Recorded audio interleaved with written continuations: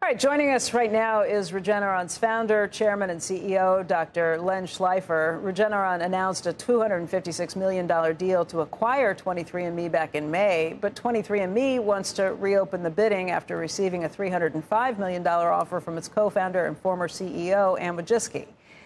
All right, Len, First of all, thank you for joining us. I, I, was surprised to hear this coming out of the congressman's mouth yesterday and, and kind of pushed back immediately. Like, wait a second, Regeneron, we know Len Schleifer, he comes in here, ties, close ties to the Communist Party. Joe and I were both like, what? Um, well, let's just get to. Do you speak Mandarin, Schleifer?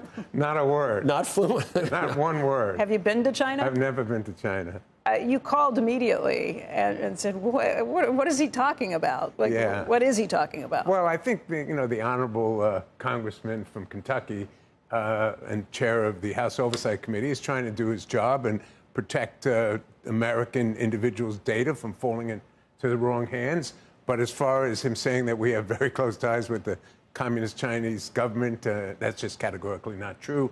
I suspect he might have been given some wrong information by his staff. What, what deals have you done with China that, that could be construed into that? Yeah, so um, our, our main products um, are actually sold through uh, non Chinese companies who have businesses in China, like Sanofi sells our Dupixent in China, Bayer sells our Eylea in China. So we don't actually have any direct business in China. We have done some licensing deals and some uh, supplies agreements, things like that, like every other company does uh, but uh, nothing that you would consider. You offered a therapeutic for a virus that originated in a lab in China. And we did come up that with... doesn't really constitute uh, close. Maybe that is close ties to the CP. I, I don't know whether the CCP but was. They create the disease and we create the cure. Yeah, exactly. so you do have ties. I don't think it exactly works that no, way. No, that's not. Uh... And, and, you know, as you know well, uh, that monoclonal antibody uh, saved the President Trump's life. So uh, it, I, it, was a timely therapeutic uh, at it, that point. It was. Yeah. that's a whole other story. We could devote hours to it. Well, let, us talk about 23andMe. I, I am, am, somebody who has given my genetic material to 23andMe a long time ago, you know, 14, 15 years ago. I have concerns about what this means. Um, why do you want it? Right. So, look, we understand privacy concerns and individuals not wanting their DNA uh, to fall into other people's hands um, for nefarious reasons or for no reason. You're entitled to uh, manage your own DNA. On the other hand, I have a child with a genetic illness, and I would be happy if his genetics would be able to help other children like him or prevent disease in the future. And so there is this tension between doing world class research with genetics, which Regeneron does. Uh, we have sequenced uh, nearly 3 million individuals in a totally de identified way. Uh, and so we're trying to balance absolutely respecting individuals' privacy, but moving forward uh, in biotechnology and genetics research. As the consumer, I mean, look, I, I, have a child with a rare genetic disease too, and I'm all in favor of that. But as a consumer, I didn't give you the right to have my genetic material. It, it, should there be an opt in policy instead of an opt out policy as it exists today? How do I know that you're going to protect my safety and my standards and my privacy? Yeah, I, you know, the details of the consent forms and what have you is something that the court is looking over very carefully. Um, as far as if we were the winner, I think we have a long history of protecting people's uh, genetic and other health information, and we take that extremely seriously. Um, but once again, we're trying to set this balance. You know, there's a commission called the National Security Commission on Emerging Biotechnology, and actually Eric Schmidt is one of the of Google fame is one of the commissioners, and they recognize that we're in a big competitive situation here. And biotechnology is critical to our national security, literally our physical security, our health security, our food security.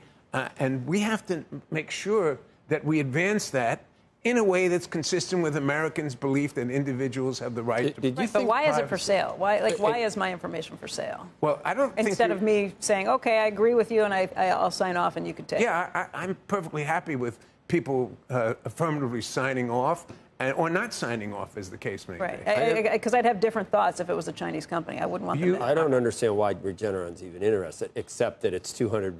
You, you, what is that? You find that in the couch? Right. Uh, at, at, at, you're a 55 billion dollar company.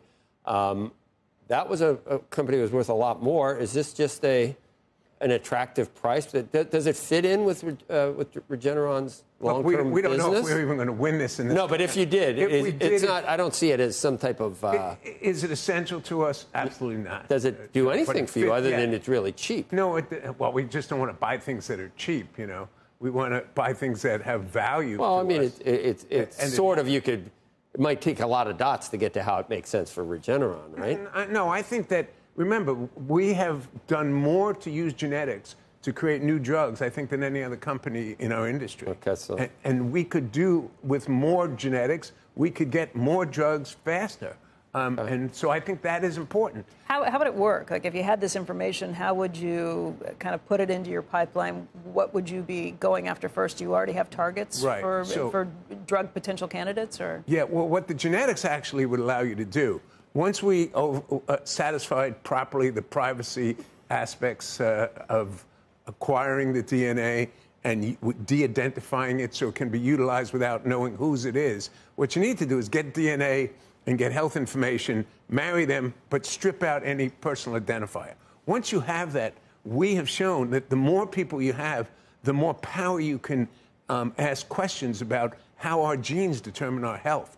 And if you can figure that out, you can come up with drugs, as, as we have. Some of the biggest, uh, most important drugs in the world um, have been predicted uh, exactly like Dupixent. It, our genetics uh, predicts all the half a dozen or more indications that Dupixent would work in to treat allergic diseases. Like what? But for allergic diseases? Yeah, allergic diseases like asthma, like eczema, like eosinophilic esophagitis, and so forth, uh, chronic obstructive pulmonary disease. The genetics provides you a lot of confidence on how to proceed, You're where to proceed. me. Okay. You, you are swaying me because I, I, I do know one of the huge arguments in the rare genetic commu- uh, disease community is if we could test uh, children as they're born, babies as they're born, that would be the key to trying to find cures, trying to find better um, identification and, and better treatment. Let, let me give you a fabulous example that will really get you on our side. If you imagine there are children, not that many, who are born, thankfully, thankfully not that many, who are born profoundly deaf. And we now know it's because of a single gene mutation that they're profoundly deaf. Well, the scientists at Regeneron have actually, and we can show you maybe the next time we're here, we can show you a video of a child who never heard anything. And now it can communicate, talk, and understand because we put a gene back in their ear, but back in, the, in their ear, and it restored hearing. That is a miracle.